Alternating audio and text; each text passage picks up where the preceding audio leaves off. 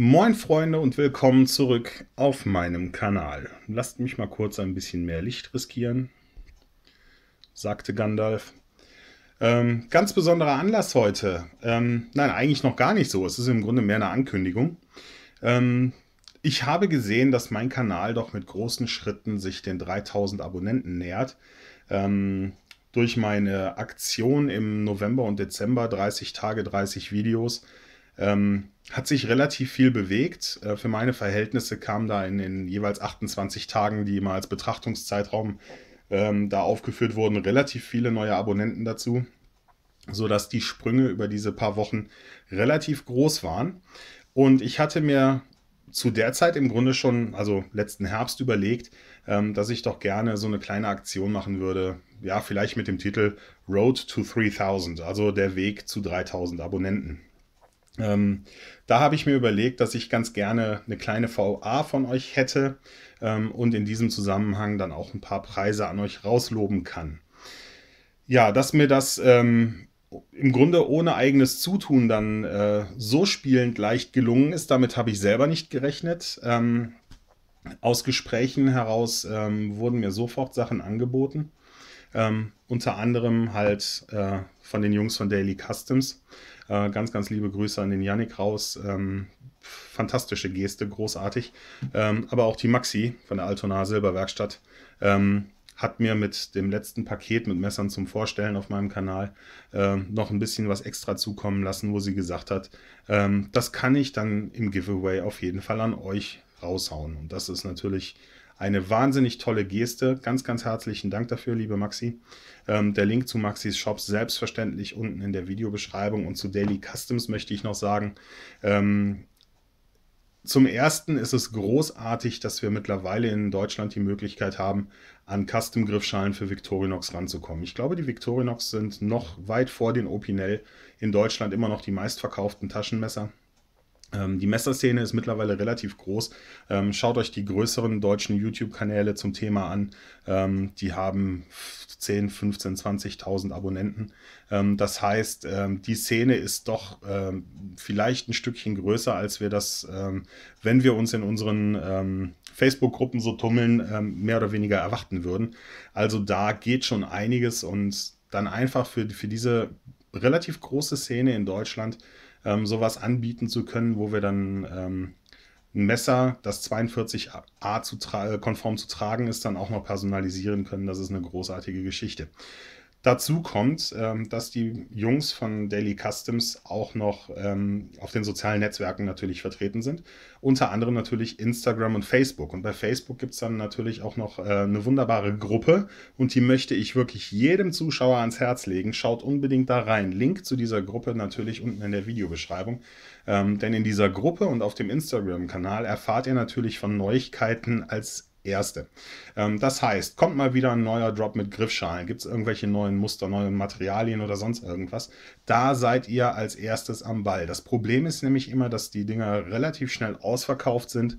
Ja, und dann ähm, hat man seine Wunschschalen wieder nicht bekommen und eventuell dauert es ein paar Monate, bis mal wieder welche droppen. Also dementsprechend, wenn ihr euch für Custom-Griffschalen interessiert und euer Victorinox vielleicht irgendwann mal vielleicht so aussehen soll, dann kommt auf jeden Fall bei Facebook in die Daily Customs Gruppe. Ähm, genauso möchte ich natürlich auch noch äh, die Messerecke empfehlen. Ähm, Links unten in der Beschreibung. Seid ihr bei Facebook unterwegs? Kommt in diese beiden Gruppen. Es lohnt sich auf jeden Fall.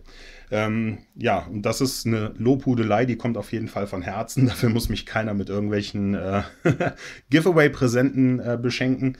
Ähm, da stehe ich sowas von absolut dahinter, dass ähm, findet sich von selbst. Ja, ähm, dann möchte ich doch hier direkt mal auflösen. Ich hatte euch ja die Scales vorgestellt. Das sind meine, die habe ich ja auch montiert. Und zusätzlich vorgestellt habe ich euch noch die Plusschalen in Kupfer. Die sind natürlich nach wie vor in ihrem Tütchen. Ihr seht 91.2 Plus in Kupfer. Das ist die laufende Nummer 046, selbstverständlich mit Unterschrift von Pierre, mit Zertifikat. Ähm, diese Plus Scales in Kupfer, darf ich an euch raushauen. Ähm, ich habe irgendwann äh, den Yannick angeschrieben, habe gesagt, hör mal, ähm, war viel los, tut mir leid, ähm, hat ein paar Wochen zu lang gedauert, aber ich schicke dir jetzt die Griffschalen zu. Und da sagte er direkt von sich aus, weißt du was, ähm, du könntest eigentlich auch mal wieder eine Aktion starten. Ich dachte ja eben, ich hatte meine selbst schon im Hinterkopf habe dann sofort gesagt, du weißt gar nicht, wie gelegen das gerade kommt. Ich habe mir da schon was überlegt. Wir haben uns kurz ausgetauscht und er hat gesagt, boah, mach das auf jeden Fall. Äh, die Scales brauchst du mir nicht zurückschicken, die kannst du raushauen. Das heißt, ein Preis in meinem Giveaway auf dem Weg zu 3000 Abonnenten sind diese Kupfer Custom Daily Customs Griffschalen für ein Victorinox in der 91 mm Klasse. Aber das ist noch lange nicht alles. Wie gesagt, die Maxi ist ja auch noch in die Bresche gesprungen und hat mir unter anderem Mist, falsch rum. Diese drei Schätzchen hier zukommen lassen. Zum einen ein Mini-Champ. Auf das Teil war ich selbst immer schon scharf. Das Mini-Champ in klassisch rot. Großartiges Teil. Bei den anderen beiden bin ich mir jetzt gar nicht genau sicher, wie die Modelle heißen. Das kleinere das sind 84 mm, glaube ich. Ähm, das hat nur erstmal natürlich das Hamburg. Ist das das Stadtwappen, das offizielle? Ich glaube, das ist das Stadtwappen. Ähm, das Hamburg-Wappen, das Ganze in schwarz. Zwei Tools, Klinge und das Kombi-Tool. Richtig, richtig nettes Teil. Dazu natürlich Zahnstocher, Pinzette. Zahnstocher und Pinzette. Ähm, das ist einer der Preise. Und das dritte im Bunde, bin ich auch so ein bisschen verliebt schon. Eins aus der Skyline Hamburg Serie. Wunderschön, wunderschön, wunderschön. Ich weiß gar nicht, ist das ein Spartan? Hätte ich nachschauen müssen, aber es waren keine, keine Nummern drauf. Ich muss dann anhand der Tools mal recherchieren, ähm, was das ist. Auf jeden Fall 91 mm Klasse. Ähm, die üblichen Verdächtigen, große Klinge, kleine Klinge, ähm, die beiden Kombi-Tools, Dosenöffner ähm, und der äh, Kapselheber. Ansonsten Pinzette, Zahnstocher, der Korkenzieher und die Stechahle. Oder ist das eine Näh? Ja, Näh, Bohr- und Stechahle. Ja, auch ein fantastisches Teil. Einer der Preise. Das heißt, von der Maxi aus Hamburg, Hamburger Originale, dreimal Victorinox aus der Schweiz. Ähm, aber das war immer noch nicht alles, denn äh, jetzt kommt noch ein richtiges Highlight. Ähm, wer der Maxi folgt, wer die Maxi kennt, wer die Altona Silberwerkstatt kennt, ähm, der ahnt vielleicht schon, was sich hier verbirgt. Ähm, kleiner Exkurs, ist ja auch einer meiner Favoriten der Böker Plus Kaliber 50 Pen. Ich habe ja die Version in Messing, äh, im Two-Tone-Finish von Achtung Scharf von David. Liebe Grüße an der Stelle raus, lass mal wieder was von dir hören. Ähm, und die Maxi hatte eine limitierte Auflage hergestellt und hat die Böker Pens versilbert. Und sie hat mir tatsächlich eines dieser Modelle zukommen lassen um es im Giveaway an euch rauszuhauen. Das heißt, ihr könnt hier einen von der Altona Silberwerkstatt versilberten Böker Kaliber 50 Pen abgreifen. Wunderschöne, smooth Mechanik, tolle Handlage, große Mine. Wirklich, ähm, damit schreibt ihr lange. Ähm, natürlich ist die kleine Schutzkappe, der kleine Schutzpin vorne noch drauf, damit ihr seht, dass das Ding auch neu ist ja, großartig. Da weiß ich gar nicht, was ich sagen soll. Da ist mir auch so ein bisschen die Spucke weggeblieben, als ich den entdeckt habe im Paket. Böker, Kaliber 50 Pen versilbert. Als einer der Preise für euch im Giveaway. Ja, was habe ich mir vorgestellt? Ähm, ich hätte gerne eine Videoantwort von euch. Ähm, das ist immer schön, wenn ich von euch bestimmte Dinge einfach erfahre in einem Video, wenn sich jemand die Zeit nimmt, sich hinsetzt und ein bisschen was erzählt und nicht einfach nur in, in 93 Sekunden ähm, irgendwas runterdreht, ähm, nur um dabei gewesen zu sein. Ähm, ich mag das sehr, wenn sich die Leute dann noch ein bisschen Zeit nehmen. Ähm, und äh, ja, deswegen habe ich mir drei Fragen überlegt, ähm, die so ganz klein bisschen dann auch thematisch natürlich äh, mit all dem hier zu tun haben. Ähm, Frage Nummer eins ist, äh, was ist euer liebster Messerkanal deutschsprachig und warum? Ähm, alternativ, wenn ihr sagt, Lieblingskanal möchte ich mich nicht festlegen, ähm, dann könnt ihr mir natürlich auch irgendeinen Kanal vorstellen, der eurer Meinung nach noch unterrepräsentiert ist, der vielleicht viel zu wenig Abonnenten hat, äh, vielleicht noch ganz neu im YouTube-Geschäft ist. Also entweder euren Lieblingskanal mit Begründung, warum das euer Lieblingskanal ist, oder eine Neuvorstellung, einen Kanal, den man vielleicht noch nicht auf dem Schirm hat. Als zweites würde ich ganz gerne von euch wissen, generell, was ist euer Lieblingsmesser und warum? Da ist es egal, ob ein Fixed oder ein äh, Folder. Ähm, möchte ich einfach nur noch mal diesen Querschnitt sehen. Ähm, ich weiß, in den Gruppen posten wir äh, alle beinahe täglich diverses Zeug. Äh, da dann noch bei jedem Einzelnen auszumachen, was jetzt tatsächlich der Favorit ist. Ähm, das fällt mir selbst bei engen Freunden schwer, wo ich die Sammlung kenne und wo ich den Geschmack kenne, da noch zu sagen, ähm, das und das Messer muss es sein, ähm, denn auch da verschiebt sich hin und wieder mal ein bisschen was. ja, ein, zwei Kandidaten habe ich, da bin ich mir sicher, aber mich würde halt freuen, wenn ihr als zweites im Video dann kurz mal erklärt, was ist euer Lieblingsmesser und warum. Bei mir ist es relativ einfach. Das ist definitiv zurzeit das Piccolo von Eckhard Schmoll. Habe ich ja schon ein, zwei Mal erwähnt. Nicht mehr wegzudenken aus der Hosentasche. Von daher ist diese Frage relativ schnell be äh, beantwortet. Ähm, und Frage 3. Ähm, welches Victorinox Taschenmesser würdet ihr ganz gerne mit Custom-Griffschalen ausstatten und warum? Ich habe ja versucht, in meinen beiden Umbauvideos ähm, so ein bisschen herauszustellen, warum ich mich für das eine oder das andere Modell entschieden habe. Ähm, ob Tinker, Super Tinker, Deluxe Tinker, wie auch immer. Ähm, sagt mir mal bitte, ähm, für welches Modell ihr euch entscheiden würdet würdet ihr Custom-Griffschalen nehmen, wie die Plus-Schalen mit Zahnstocher und Pinzette, beziehungsweise zusätzlich auch noch mit dem Fach für den Kugelschreiber? Oder würdet ihr ganz einfache Griffschalen nehmen, ähm, die halt auf Zahnstocher und Pinzette verzichten, ähm, dafür Zugang einfach nur gewähren zu den üblichen Tools, die halt am Messer sonst vorhanden sind?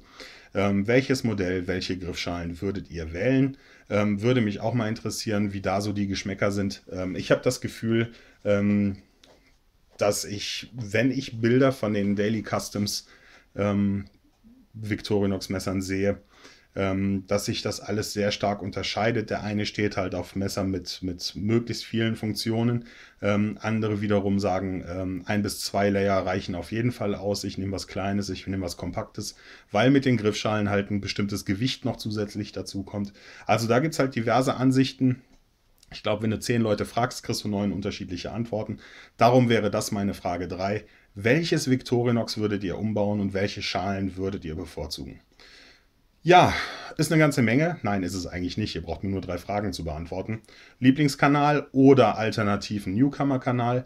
Euer Lieblingsmesser mit einer Begründung, warum es das ist. Und als drittes, welches Victorinox würdet ihr gerne umbauen und wie? Ja, das ist es im Grunde schon. Ne? Das hätte ich ganz gerne in der Videoantwort. Ähm, natürlich soll das Ganze wieder einem bestimmten äh, Prozedere folgen. Zum einen zur Teilnahme solltet ihr natürlich Abonnent meines Kanals sein. Zum zweiten, bitte, bitte postet mir die, äh, den Link zu eurer Videoantwort in die Kommentare. Äh, Im Titel sollte auch ähm, VA für Andi 1878 stehen ähm, damit ich die Videos im Zweifelsfall auch so wiederfinden kann. Ähm, die Links zu euren Lieblingsmessern wäre natürlich cool, wenn die in eurer Videobeschreibung sind. Ähm, genauso die Links zu den Kanälen, äh, die ihr empfehlen möchtet, entweder als Lieblingskanal oder als Empfehlung als Newcomer. Ähm, das wäre natürlich toll, wenn die auch dabei sind, dass da im Grunde dann ähm, aus dieser ganzen Videoaktion so eine Art Lawine wird, ähm, wovon dann vielleicht alle ein Stück weit profitieren können. Ähm, also vergesst die Links nicht, ver vergesst die Erwähnung im Titel nicht und ähm, packt auf jeden Fall den Link zu eurer VA in die äh, Kommentare. Ähm, das wäre auf jeden Fall ähm, so die Rahmenbedingung. Ansonsten würde ich das Ding gerne, wir haben heute den 3. Februar, glaube ich. Jetzt muss ich kurz auf den Kalender gucken. 3. März. Ja, das Problem, wenn der Februar nur 28 Tage hat und der Kalender dann noch auf der 31 steht, weil man noch nicht umgestellt hat seit drei Tagen. Ähm, also wir haben heute den 3. März und ich würde das Ganze gerne laufen lassen bis zum 1. Mai. Das ist ein Feiertag, ein bundesweiter. Ähm, 24 Uhr. Das heißt, diejenigen, die es dann verpennt haben, ich werde wahrscheinlich hin und wieder nochmal darauf hinweisen, äh, die hätten dann am 1. Mai selber nochmal die Möglichkeit, das ist ein Mittwoch, ähm, die Möglichkeit, da nochmal schnell nachzudrehen. Ähm, die, das letzte Giveaway bei 2222 Abonnenten, ähm, das war von den Videoantworten sehr, sehr dünn. Ähm, da hatte im Grunde äh, fast jeder die Chance auf einen Gewinn, weil da so wenig Videoantworten kamen. Ich hoffe mal sehr, dass es diesmal von der Beteiligung ein ganz klein bisschen mehr wird. Ähm, ich finde, die Preise sind absolut traumhaft schön. Ähm, da ist fünf Preise, äh, über die man sich, wo man sich im Grunde über jeden einzelnen äh, tierisch freuen sollte wenn man es gewinnt. Natürlich zwei herausragende Preise dabei, das weiß ich selber. Ähm, aber alle fünf finde ich ganz, ganz toll. Ganz lieben Dank nochmal an die Maxi von der Altona Silberwerkstatt. Danke an den Yannick von Daily Customs. Äh, danke an euch, dass ihr seit Jahren meine Videos schaut. Das sind ja mittlerweile deutlich über 500 Stück. Ähm, den Kanal gibt es jetzt mittlerweile fast elf Jahre. Das ist also wirklich schon. Ja, da ist ganz schön was zusammengekommen ne, im Laufe der Zeit. Ähm, ich freue mich auf den Punkt, wenn wir gemeinsam die 3000 knacken. Ähm, ich freue mich auf eure Videoantworten. Nochmal ganz, ganz, ganz, ganz herzlichen Dank, ähm, dass ihr so lange schon meine Videos anschaut und immer noch dabei seid und immer noch einschaltet. Ähm, auch wenn die Algorithmen nicht immer mit uns äh, waren in letzter Zeit. Also, ne, ihr wisst das selber, viele Probleme gegeben. Aber das ist eine andere Geschichte. Jetzt ist erstmal Grund, sich zu freuen auf demnächst 3000 Abonnenten und für ein paar von euch dann vielleicht auch äh, über ein paar tolle Preise. Ja, das soll es gewesen sein. Viel zu lang geschwafelt. Ich habe gedacht, ich kriege das Video unter 10 Minuten hin. Ne? Egal wie oft ich das denke, es geht jedes Mal in die Hose. Von daher, habt eine schöne Zeit. Dreht mir eine VA. Und ich sage, wir sehen, hören und lesen uns schon bald wieder. Bis dahin. Bye bye.